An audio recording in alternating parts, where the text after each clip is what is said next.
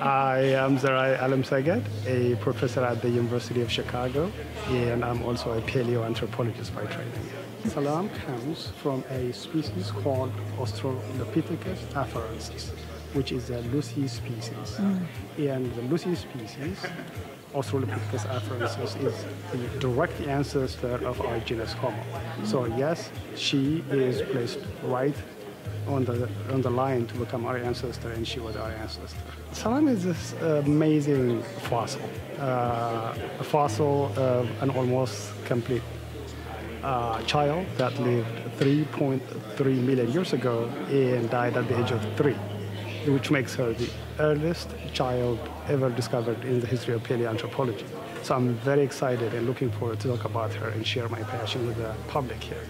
We don't know exactly how she died, but we have some circumstantial evidence which would suggest that given the completeness of the skeleton, that she may have been uh, taken away by a flood uh, or maybe drowned or something that happened suddenly because we don't see any evidence of carnivore attacking her or a scavenger uh, eating her or something like that. So we think there was some sudden activity that uh, led to her that led to her death.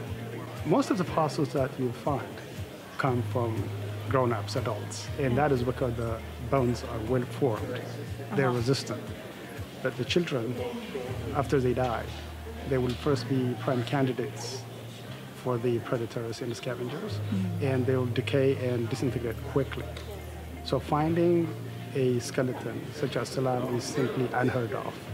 And when you have a skeleton of a child as opposed to a grown-up, you learn so much about how the children 3.3 million years ago looked.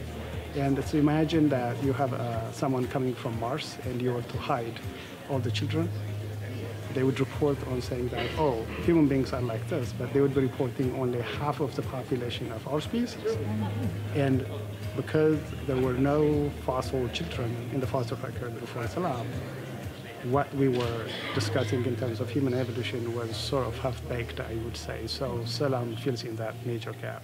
I was very excited, but because I was the only scientist on site when she was discovered, the happiness and excitement was followed by this deep sense of responsibility of making sure that it's safe. Because remember, we were working in some of the remotest parts of the world, and the first key thing to do was to go make sure and take her to the city and keep her safe. But I was very excited and yeah. very happy.